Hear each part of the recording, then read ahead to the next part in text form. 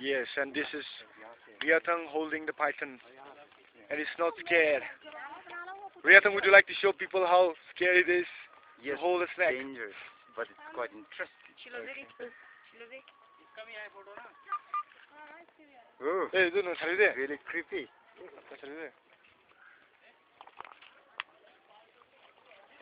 Mommy.